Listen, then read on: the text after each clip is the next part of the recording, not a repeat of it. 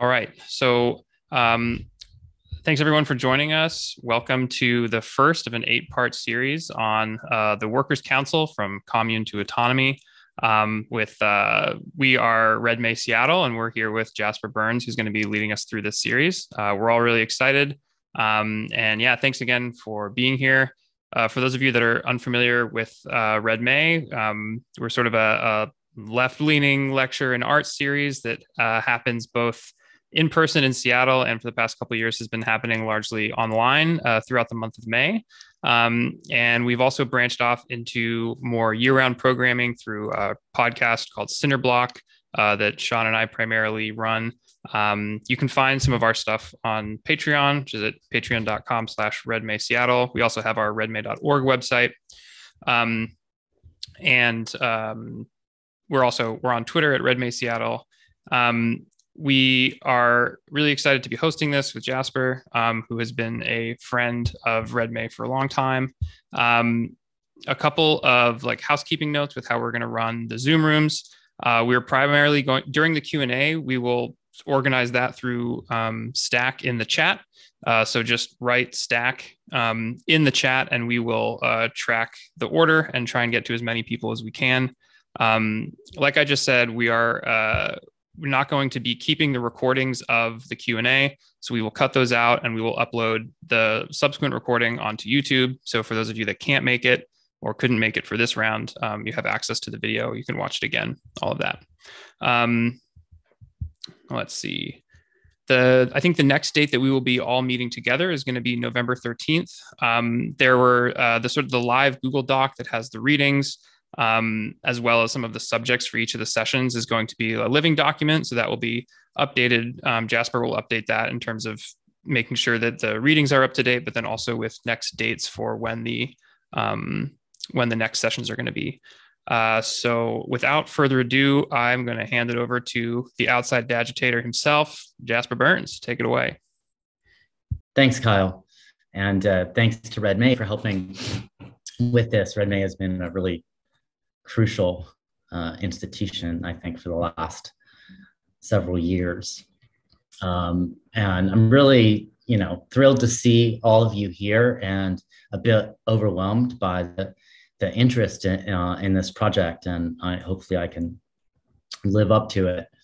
Um, I just wanted to say a few things about the, the series I had envisioned uh, and say first off that I, it's really kind of open to adaptation um, as we go on and you know I'll change things if it seems like they're not working. Uh, but the idea was that uh, people could on their own or with others read these texts a couple of weeks before uh, meeting online. Uh, and then, you know, at least for the first few sessions, I can kind of give a talk and pose pose some questions and we can all come together to discuss here. But this also allows people to participate at different levels. Um, you know, you could just come to these online events or you could just go to the reading group. Uh, you could do your own video lecture series if you wanted. Um, so, you know, I really um, hope that, uh, and I'm hoping that other people will, you know, volunteer to to present here as well as we go on.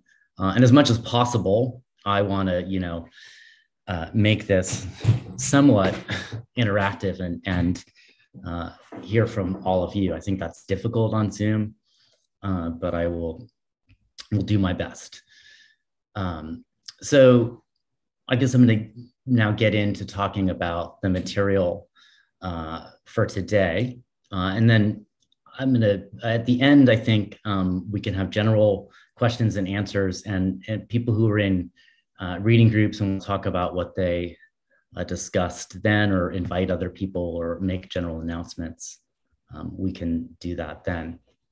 But I wanted to say uh, something about why we're starting with the commune, uh, the Paris Commune, because I, that might not be obvious. Uh, and so I, I began this study of the Workers' Council, uh, with the Paris Commune because partisans of the Workers' Council look back to the Paris Commune as much as the 1905 Russian Revolution, which gave us the Council for Soviets um, for the origin of this new political form. As we will see, key elements of what Marx calls the communal regime reappear with the Soviets and the workers' councils, both as practice and as prospect. For Paul Mattick, um, and I'm going to here try to share my screen so that you can. So uh, for Mattick, the commune represented the first advent of a new force of proletarian self-organization involving proletarian than purely intellectual or academic visions of achievable communism, deducible from the facts of class struggle itself. Once disclosed, such facts can't be forgotten and will be rediscovered by class struggle, from whose experience, uh, as Mattick writes, otherwise that in the case of the intellectuals, there results another statement of problem and new perspectives are opened. In this way, conceptions are formed, conceptions by proletarians are formed regarding the regulation of the mutual relations of human beings um, in human beings in social production, conceptions which to the intellectual elements appear incomprehensible, in which they declare to be utopian and unrealizable. But these conceptions have already unfolded a powerful force in the revolutionary uprisings of the wage workers of the modern proletarians. This force was shown first on a major scale in the Paris Commune, which sought to overcome the centralized authority of the state through the self administration of the communes. It was the cause also of Marx's giving up his idea, expressed in the Communist Manifesto, that state economy would lead to the disappearance of class society. In the workers and soldier councils of the Russian and German revolutions of 1917 to 1923, it arose once more to a mighty and at times all mastering power. And in future, no proletarian revolutionary movement is conceivable in which it will not play a more and more prominent and finally all mastering role. It is the self activity of the broad working masses which manifests itself in the workers' councils. Here is nothing utopian any longer. It is actual reality.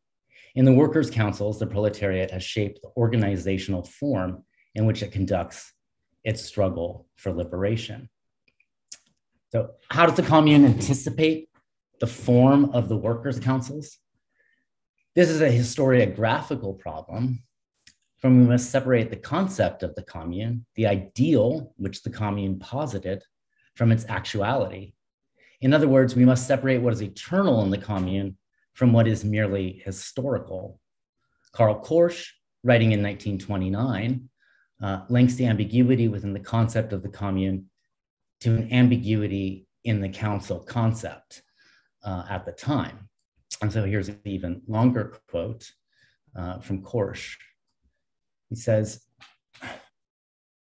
uh, nonetheless, there remains still an unbalanced contradiction between, on the one hand, Marx's characterization of the Paris Commune as the finally discovered political form for accomplishing the economic and social self liberation of the working class, and on the other hand, his emphasis at the same time that the suitability of the commune for this purpose rests mainly on its formlessness, that is, on its indeterminateness and openness to multiple interpretations. It appears there is only one point at which Marx's conception is perfectly clear, and to which he professed at this time under the influence of certain political theories he had in the meantime come up against, and which were incorporated in this original political concept, and not least under the practical impression of the enormous experience of the Paris Commune itself. While in the Communist Manifesto of 1817 to 1848, and likewise in the inaugural address to the International Workers Association in 1864, he still had only spoken of the necessity the proletariat to conquer political power.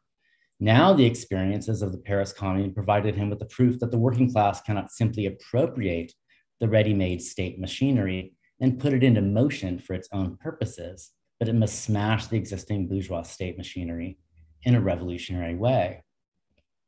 This sentence has since been regarded as an essential main proposition and core of the whole political theory of Marxism, especially since in 1917, Lenin at once theoretically restored the unadulterated Marxian theory of the state in his work, State and Revolution, and practically realized it through carrying through the October Revolution as its executor. But obviously, nothing positive is at all yet said about the formal character of the new revolutionary supreme state power of the proletariat, with the merely negative determination that the state power cannot simply appropriate the state machinery of the previous bourgeois state for the working class and set it in motion for their own purposes. So we must ask for which reasons does the commune, in its particular determinate form, represent the finally discovered political form of government for the working class, as Marx puts it in his Civil War, and as Engels characterizes it once more at great length in his introduction to the third edition of the Civil War 20 years later.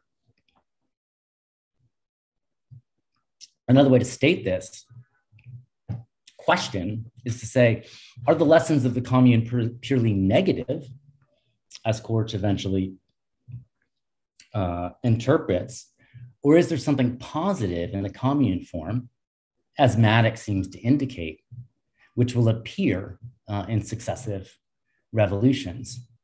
And I guess I'd actually really uh, like to hear uh, from some of you on that question on how it appears uh, in these two texts. That's to say, um, what is historical uh, about the commune and, and what, what in the commune uh, anticipates communism or would be necessary uh, for communism. To, to give you, to be specific about what I'm saying, for example, um, the fact that the working class cannot uh, appropriate state the ready-made state machinery that is something that will remain true i think for marx uh, and for marxists uh, as long as such a question is meaningful to ask. That's to say it's an eternal fact of class struggle uh, that the working class cannot do this. And there are other you know there are other aspects of the experience that marx singles out this way. For example um, the overcoming of the imperial state army. As I say, it will remain true uh, that the state army will need to be overcome and smashed uh, by revolutions. Whether you form a national guard or or some other kind of thing, or arm the workers, as council communists will advocate, uh, is another question, and that's a historical question. But it remains true uh, that you have to deal with the army. Um, so I'm interested in in you know how reading both um, the Kristen Ross piece and Marx's text uh, this appears. What is it in the in the commune uh, that belongs to the dustbin of history, uh, and what is it that we um, still have to reckon with? I mean, perhaps to, to be a, a bit a bit clearer. For example, Marx thinks it's really cool that the commune uh, has made the police uh, responsible to uh, the working class through this process of kind of delegation. Uh, and we'll get it. I want to get into that in a, in a second. Um, but the idea is that you know the police aren't police because they are uh, mandated and revocable at will. Uh, but we can question that. We could say that you know there can be no revolutionary police. Um, and that's something that, you know, perhaps belongs to the commune uh, as such, the historical process of, of the commune. Uh, and that's something that, you know, Korsch points out. We wouldn't want to read, we wouldn't want to read this text as saying that, you know, communism requires uh, delegated uh, at-will police. Uh, that's certainly not the conclusion we're supposed to draw from this text, but there's something about the process of delegation and and uh, something about the process of delegation that will will that, that Marx thinks is important. So we have we have some on the stack. Bruno. Yeah, um, I'm not sure what what belongs to the dustbin of history in this, but I I was struck by the internationalism, especially as Kristen Ross explained how the embittered, defeated communards especially saw um, the well, their internationalism really was an abolition of the nation. Like it's not a federation of many communist nations because they were so, he saw so clearly that the nation was essentially essentially colonial and not accidentally colonial. So yeah. I was going to say I think that's a great example. Uh, the we could say the state must be overcome, uh, but we could you know question whether this idea of federalist delegation, uh, which as we will see appears to really actually come from anarchism rather than um, Marxism as such, whether we we think that's the way to do it.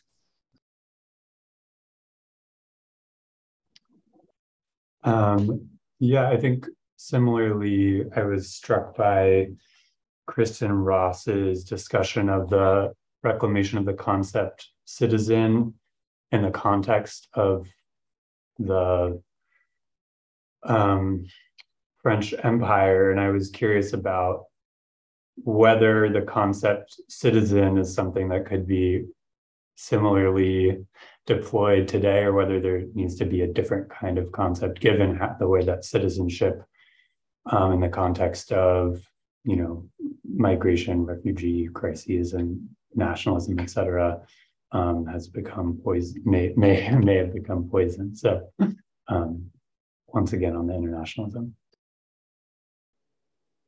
isr northeast campus y'all are up Sorry, I forgot to unmute when I uh, when I unvideoed. Um, yeah, again, like I don't feel qualified to necessarily make comments on what ought to be relegated to the dustbin of history. That said, um, I mean, I think the exciting things about the council form, right, is that there's this kind of question, you know, the famous like sort of what is to be done question that's like lingered throughout the course of like the development of a, a history of uh, approaches to communism in the 20th century.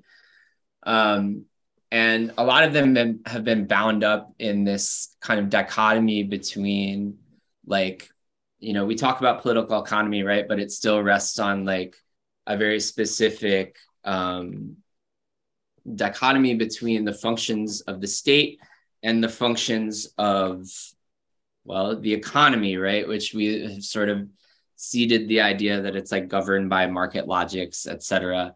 And maybe if you're involved in the labor movement, you like you hope to intervene in this in one way or another.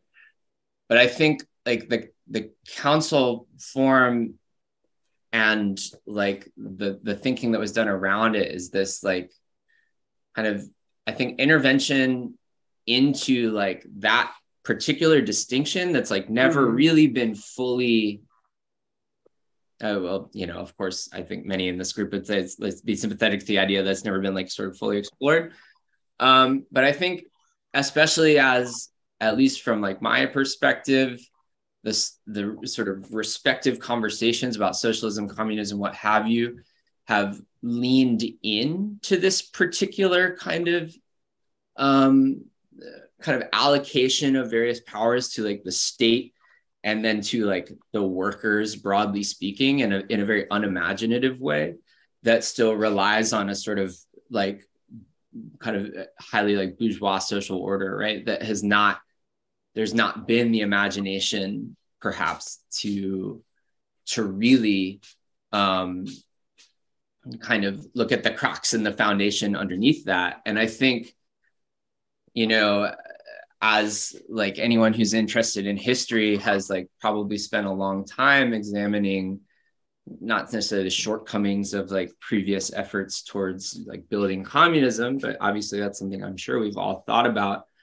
And i think being able to really like think about new ways of like both like power operating but also like a sort of social organization that doesn't necessarily divide like governance in and the sphere of politics and cede it to this kind of institution of politics that's been like highly contoured by bourgeois social forms as well as like the logics of the market which even like the labor movement can't really seem to at least in the 20th century and the 21st century like really find itself outside of for some reasons that are understandable.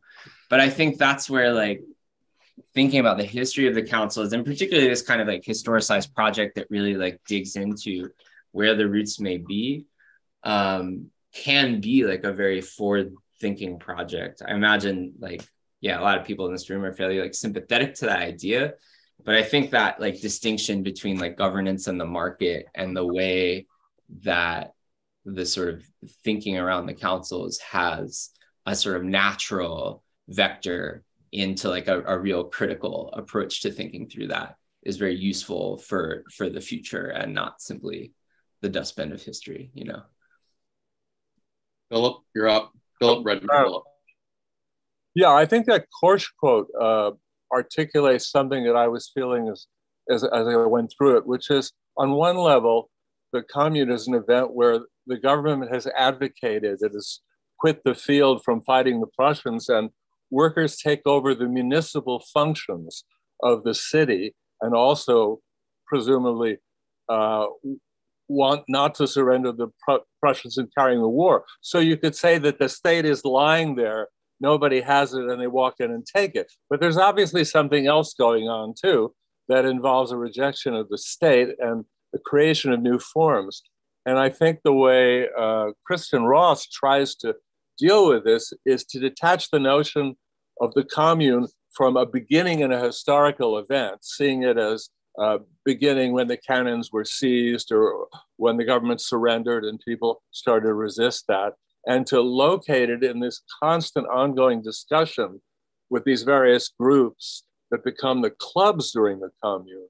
Uh, so you could say in a certain way that one of the essence of the not state is that this discussion continues, that the state is a form of frozen institutions uh, that make judgments like in law by saying, we can't handle this case because it's not in the Constitution or whatever, you know, a citing protocol, where the notion of a, a, a, commune is that everything is on the table always uh, to discussion, I would think, uh, as part of the process uh, that goes on, just as everybody can be recalled and revoked and so forth. I don't think those are in the dustbin of history.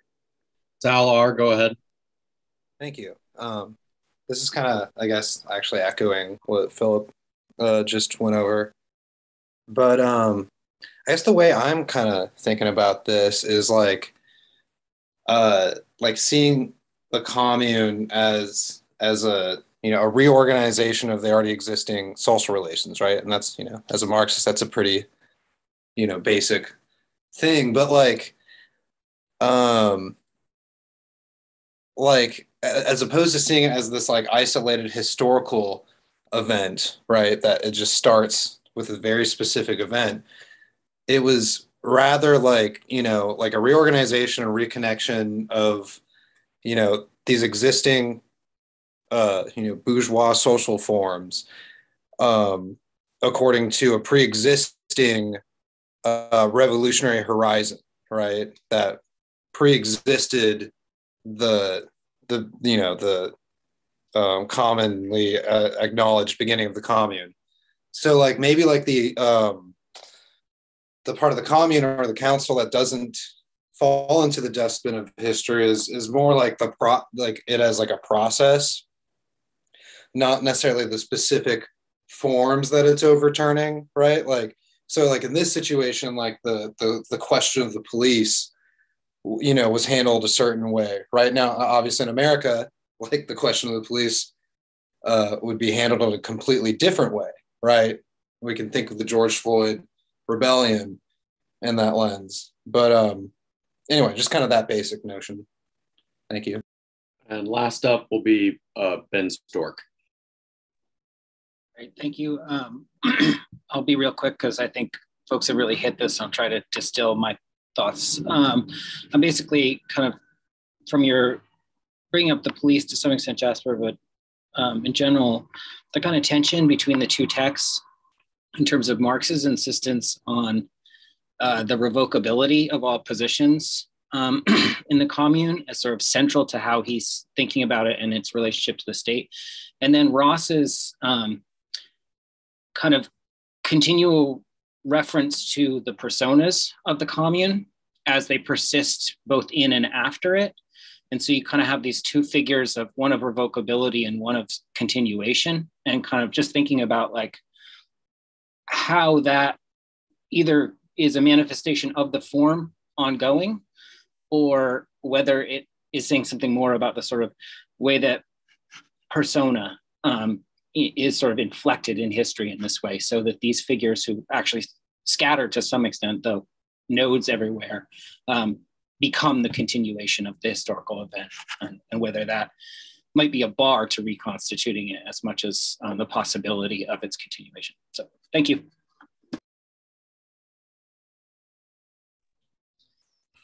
Well that was great. Um, i think pretty much everything that people touched on is something I wanted to return to, and that I have remarks, uh, you know, dealing with this in in in in uh, the rest of what I hope to um, talk about. I I think it's um, you know interesting that Marx the beginning of what we read for today describes the commune as that sphinx so tantalizing to the bourgeois mind.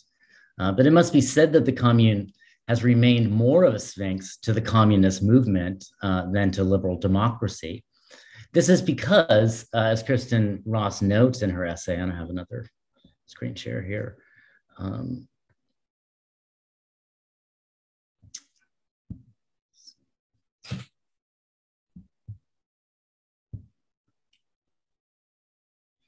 uh, as, as Kristen Ross notes in her essay on the commune, the commune was both rallying cry uh, and the thing itself, attempting to differentiate the two or establish the moment when the one was transformed into the other, may be beside the point. For communard Arthur Arnould, uh, this is because the commune was less an uprising than the advent or affirmation of a politics. After 1871, uh, Paris had no government, Gone to Bordeaux, the army in disesteem and poorly armed, generals universally held in contempt, no police on the streets. We had nothing but an anonymous power, representation by Monsieur Tout le Monde at that moment. And this is a point on which I cannot can't insist too much because it's so important and it seemed to have gone unnoticed. The commune already, in fact, existed. For Korsch, we might say the problem of the commune or the council system lies in disentangling the rallying cry from the thing itself. That is the riddle uh, which the Sphinx of the commune poses. Some part of the commune is eternal, and some part is historical. For example, it will remain forever true as long as such questions are well formed that the working class can't simply lay hold of the ready made state machinery and wield it for its own purpose. But what do we make of the particularity of communal administration, which Marx seems to believe in this essay could have succeeded in producing communism, functioning as a lever that would uproot uh, class rule and class society? Uh, as he writes, Paris could resist. Paris could resist only because in consequence of the siege, it had got rid of the army and replaced it by a national guard, the bulk of which consisted of working men. This fact was now to be transformed in, into an institution. The first decree of the commune, therefore, was the suppression of the standing army and the substitution for it of the armed people. Uh, and, and so, just distinguishing eternal from historical, I think we can clearly see that it is an eternal uh, goal of revolution to suppress the standing army, uh, but what it should be replaced by and what the armed people means, uh, and whether that involves national guards or not, I think is a historical question. Uh, but then continuing with the Marx quote, the commune was formed of the municipal councillors chosen by universal suffrage in the various wards of the town, responsible and revocable at short terms. The majority of its members were naturally working men, of acknowledged representatives of the working class. The commune was to be a working, not a parliamentary body, executive and legislative at the same time. And I think just to stop for a second, that really speaks to the point that um, ISR North made uh, which is which is that you know this is a kind of overcoming of the distinction between uh, the kind of executive and the legislative, and as such, a distinction between you know the economy and and politics, especially since these are bodies formed of of workmen. Uh, instead of continuing to be the agent of the central government, the police was at once stripped of its political attributes and turned into the responsible and at all times revocable agent of the commune. So were the officials of the other branches of the administration. From the members of the commune downward, the public service had to be done at workmen's wages. The vested interest and the representation allowances of the high dignitaries of state disappeared along with the high dignitaries themselves. Public functions ceased to be the private property of the tools of the central government. Not only municipal administration, but the whole initiative hitherto exercised by the state was laid into the hands of the commune. And just one more uh, quote from, from the Marx about the kind of the destiny of the communal form. Uh, Marx writes, the communal regime once established in Paris and the secondary centers, the old centralized government would in the provinces too have to give way to the self-government of the producers. In a rough sketch of national organization, which the commune had no time to develop, it states clearly that the commune was to be the political form of even the smallest country hamlet, and that in the rural districts, the standing army was to be replaced by a national militia with an extremely short term of service. The rural communes of every district were to administer their common affairs by an assembly of delegates in the central town, and these district assemblies were again to send deputies to the national delegation in Paris, each delegate to be at any times revocable and bound by the mandate imperatif, formal instructions of his constituents.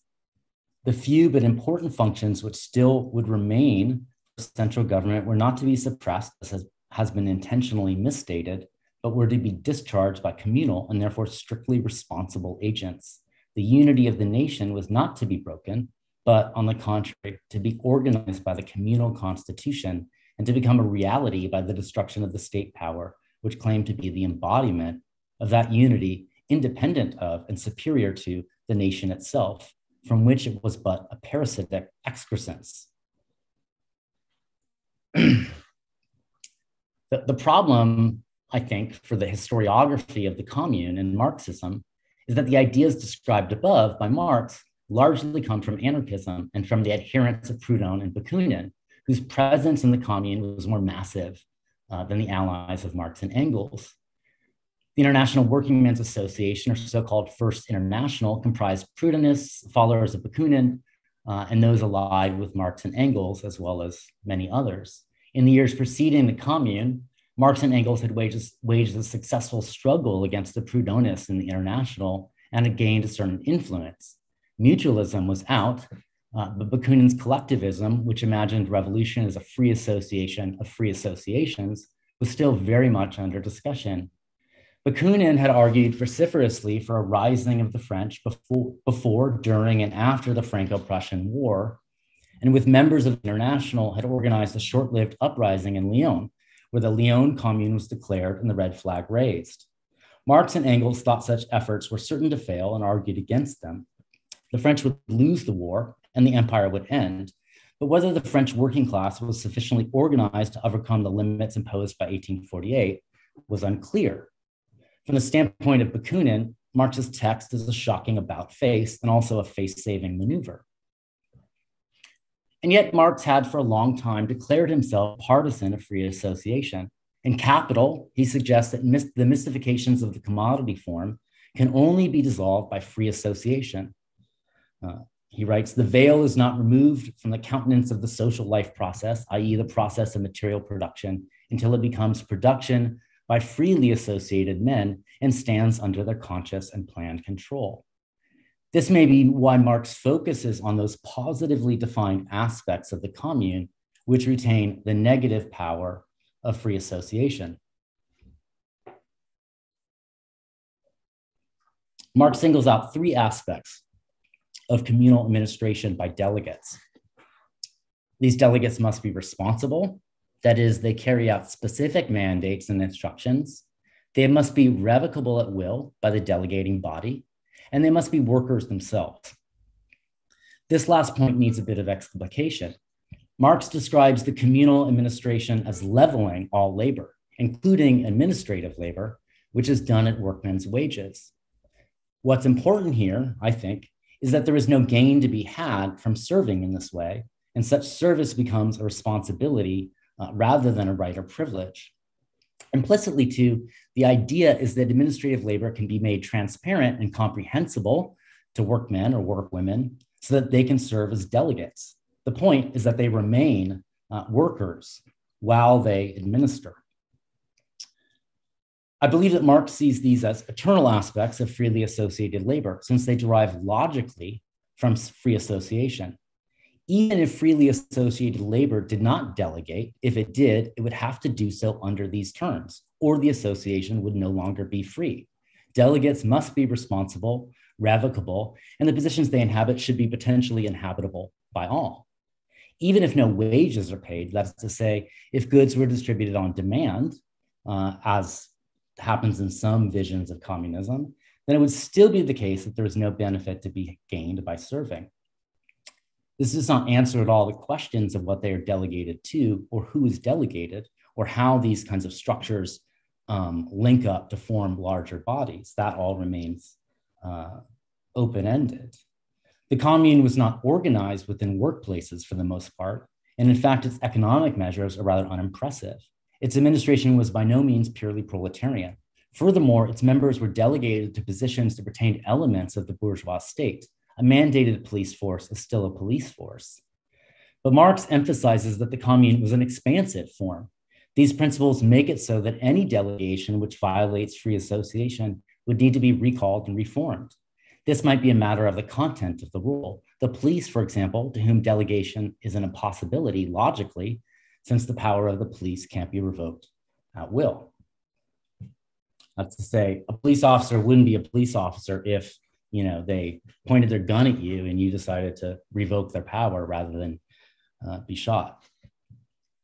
There are strong differences between the vision of communism workers' councils and communism as communal organization.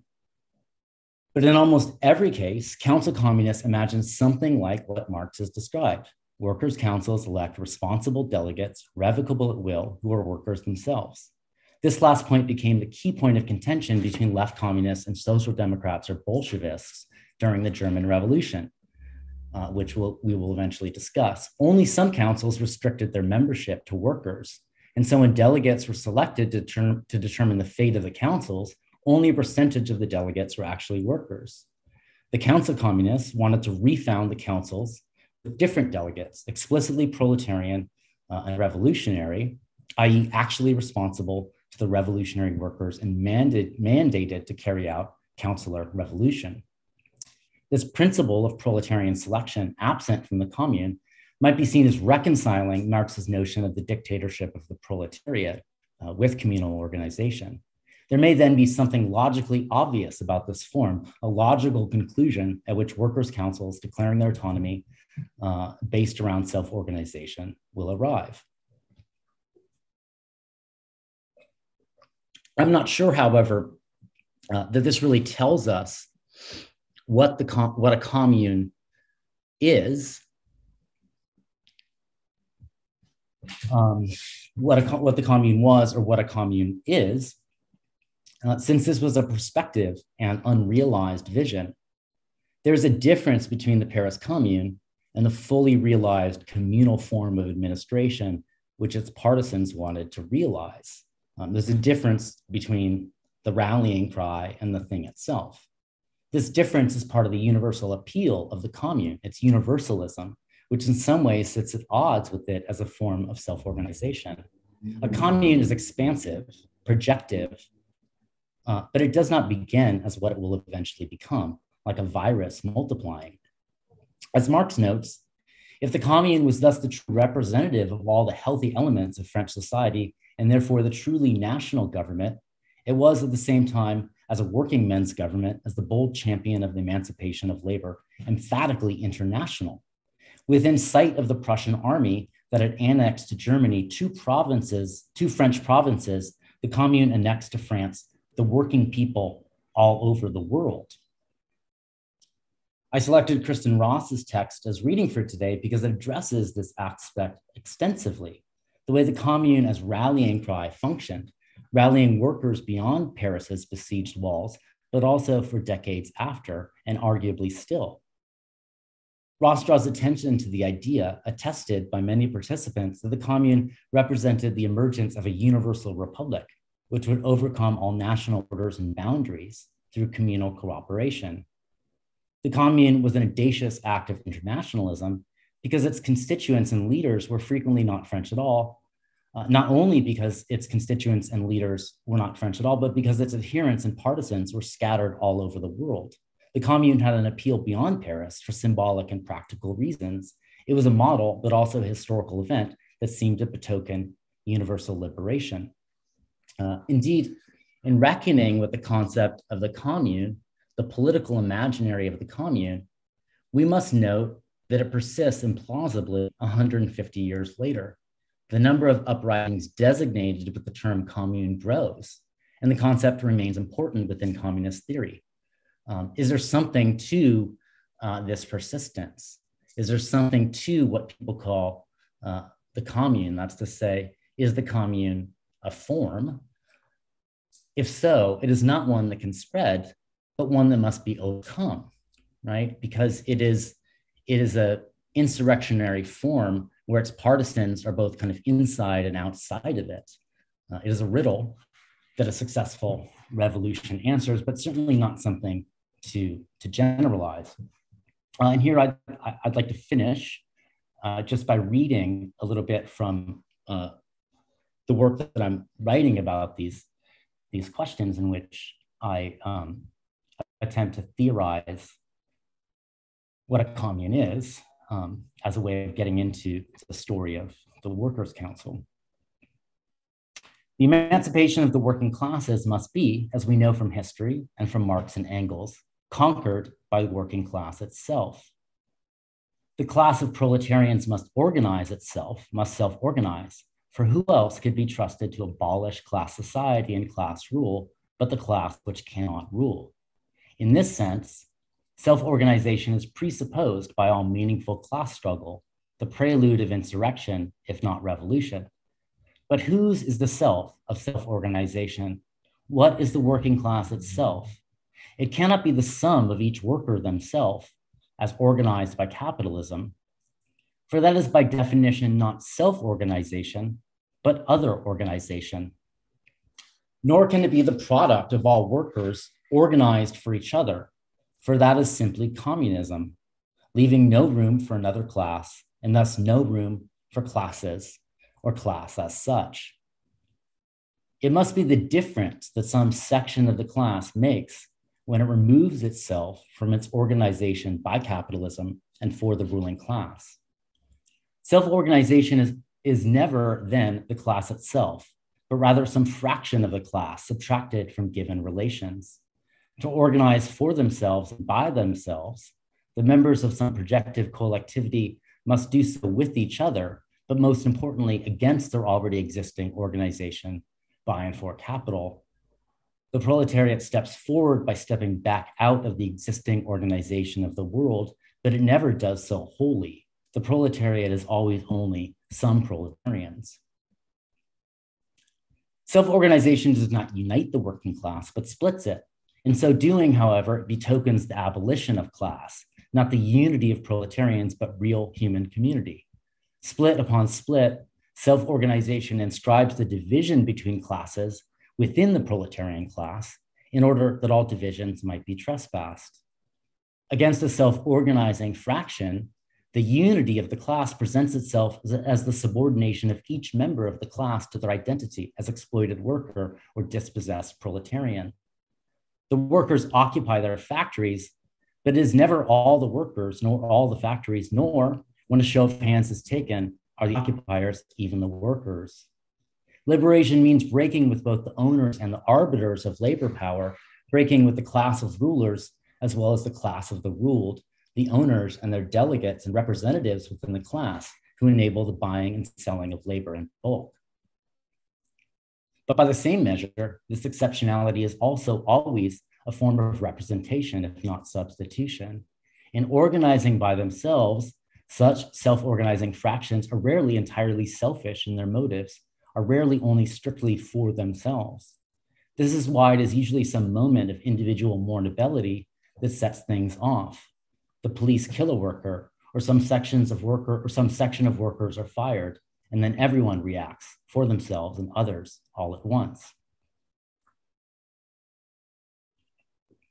The workers occupy the factories in May 68, for example, but their demands are both selfish and not. They stand with the students, against de Gaulle, and for themselves. They inspire and are inspired by other proletarians near and far, with and without jobs, inside and out any sociological bound we might draw.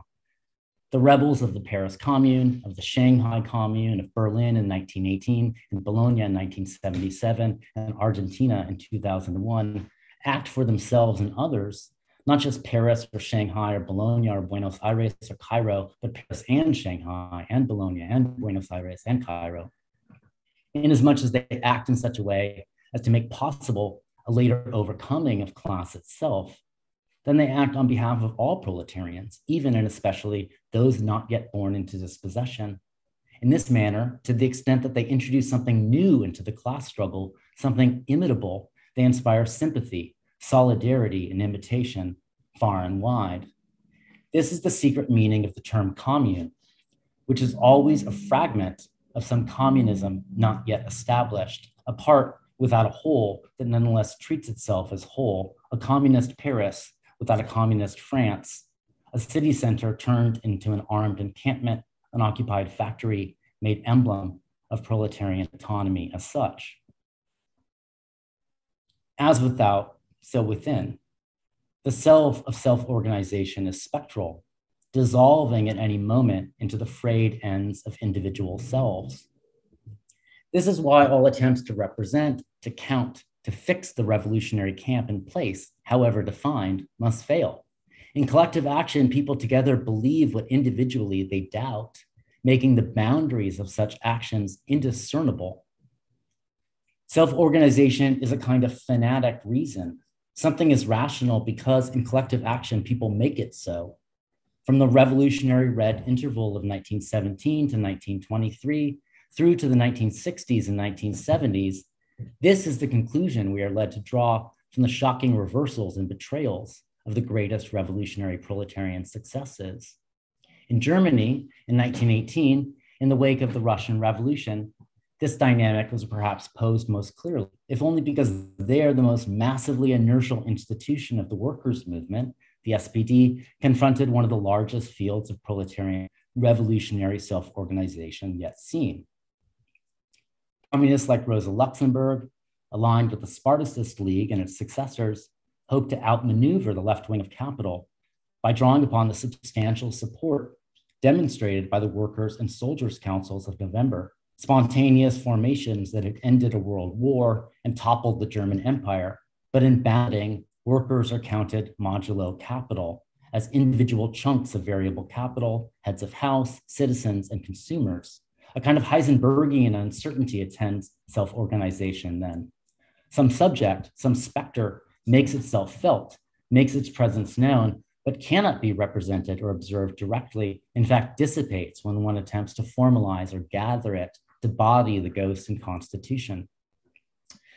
This is simply another way of saying that the object of self organization is not or cannot be the securing of rights, for that is organization by and of another. Thus is the moment of contract, of settlement, always a scandal for struggles that insist on self organization, whether piqueteros or zapatistas, whether in the zone à défendre or the Capitol Hill autonomous zone, Self organization cannot become self rule, autonomy, without becoming the domination of each individual by some abstract notion of the collective, some mediation, substitution, or representation. As atomized, penniless, and market bound individuals, proletarians are weak. But collectivization is no guarantee against heteronomy, since capital treats labor as variable capital, bought in bundles that might be individuals or groups. A real valued function that might as well be one worker or 1,000 or 12.57 workers, whatever that means. The collective action of a movement can be absorbed as a movement of variable capital, as a flow of labor power reproduced at a given capacity. this explains the sudden reversals experienced when it comes time to settle up. In June of 68 in Paris, the mass of the workers greet the negotiations between the leaders of their respective classes with an indifference equal to the ferocity with which they downed their tools in the Great Strike of May. In Italy's creeping May, the rank and file organizations which brought, which brought the apparatus of Italian industry to halt with ease dissipate just as quickly in the face of negotiations between the classes. The informality of self organization cannot be banished, cannot be formalized, no matter the tyrannies imposed by such lack of structure. That lack of structure, or rather that refusal of structure, derives from the antinomies of the class struggle. For this reason, even though self organization is the very presupposition of revolutionary action, as and if the revolution unfolds, it becomes an obstacle which the revolution must overcome. Uh, and here I'm quoting from Théorie communiste. Perhaps limit is the better term. For it is not what self organization does that hinders the revolution, but what it doesn't do. The self organizing fraction cannot simply subtract itself, for it remains materially dependent. That way lies suicide. Nor can it simply transact or contract, for that would be organization by and through the enemy class. It must extract from capital and retract from the state what is necessary for each self to organize itself with others according to its own desire, which is to say, nearly everything. The self of self organization is projective, prospective, aspirational, not the real individuals themselves, but a kind of spirit that hovers near, but only near. It doesn't exist here and now, and therefore can only look on itself strictly as itself, as worker and auto plant, parent and neighborhood, citizen and city, as in fact the self of another, as something to be abolished. Self organization always fights its way into a corner where the options are suicide, compromise, or total victory, which is to say, the overcoming of opposition between self and other in the sense used here, the abolition of classes. Absent the production of communism, of classless society, such a self presents itself as vengeful spirit, appears most clearly when destroying the things of the world. And uh, I think I'll end there for today and we can just take questions and uh, general commentary from here.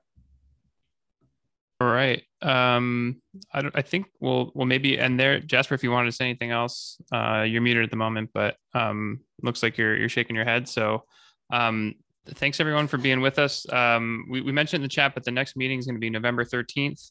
Um, and yeah, there was a um, a message about doing breakout groups. I think that's definitely something we can talk about for for next time. Um, and uh, and yeah, we want to like keep this format fairly open. So if you do have more su- suggestions about how to um, navigate group engagement on Zoom and all of that, you know, I think we're, we're definitely open to all that as well. So um, uh, thanks for uh, being here. And yeah, check out Jasper um, on Twitter, um, outside the agitator. You can find uh, Red May uh, at Red May Seattle. Um, and the document will also be a living document. So uh, the dates and everything, as well as the readings, will be on um, the Google Doc that we've shared. We'll continue to do all of that for um, the next meeting as well. But um, between now and November 13th, if you're not already in a reading group, uh, find some friends and um, try and, and, read some of the text together. Find a time to meet and chat. There are a number of different people uh, right now that are all in uh, other reading groups that are discussing the text sort of in between the um, uh, online sessions. So uh, we encourage you to do that as well. Um, but uh, but yeah, unless there's anything else, um, thanks again. Thanks to Jasper. Thanks to all of you. Uh, we'll see you all in a month.